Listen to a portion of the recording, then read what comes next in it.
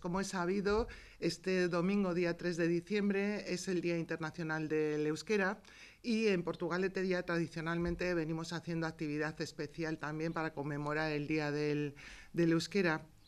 Y en este caso lo que proponemos es eh, novedoso, eh, la primera vez que, lo hacemos y, bueno, pues queríamos sobre todo dar cabida a la participación de, mucha gente y a que se pusiera de manifiesto pues el compromiso que tanto las entidades como personas individuales, ciudadanía, pues tiene con, con el euskera. Eh, así tenemos eh, dos actividades paralelas que se proponen en el Centro Cultural Santa Clara eh, a lo largo de toda la mañana, desde las 11 de la mañana hasta las 2, 2 y cuarto de la tarde, estaremos haciendo, por un lado, una actividad que, que se engloba dentro de la estrategia del Plan de Acción de las Tecnologías de la Lengua que tiene Gobierno Vasco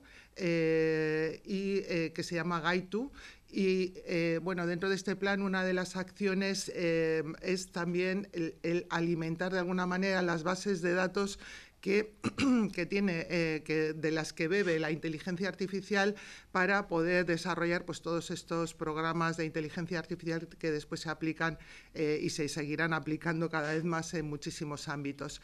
Y este programa Gaitu, en, lo que, en esta acción de Gaitu, lo que se pretende es eh, conseguir voces de muchas personas adultas eh, haciendo grabaciones de, de, pequeñas frases y con estas frases, con estas grabaciones, pues es como se puede alimentar esta base de datos en euskera. En, claro, en las bases de datos que hay de inteligencia, estas bases de datos eh, tienen eh, mucha prevalencia los idiomas más hablados, ¿no? el inglés, el, español o otros idiomas, pero las lenguas minoritarias no tienen esa prevalencia y eh, bueno, pues se trata de conseguir también que se puedan desarrollar toda esta tecnología en, en euskera. Entra dentro del, también del proyecto internacional denominado Common Voice eh, que hace la Fundación Mozilla pues, en, todo, en todo el mundo. Entonces, bueno, pues invitamos a las personas, tenemos ya también muy organizada la, escaleta, hemos invitado a asociaciones eh, de Portugalete pues, a que vengan, a socios y socias de las, de las asociaciones a hacer estas, estas grabaciones y se van a estar haciendo a lo largo de toda, de toda la mañana, como digo. Puede bajar cualquiera, pero a poder ser estaría bien si pudiera, si pudiera ponerse en contacto antes con el servicio de, euskera, porque se están organizando una serie, una serie de turnos, ahora mismo hay, disponibilidad. Y, y, sí, se trata de entrar en, en, una, en, una, aplicación y en esta misma aplicación aparecen ya predeterminadas la serie de, una serie de frases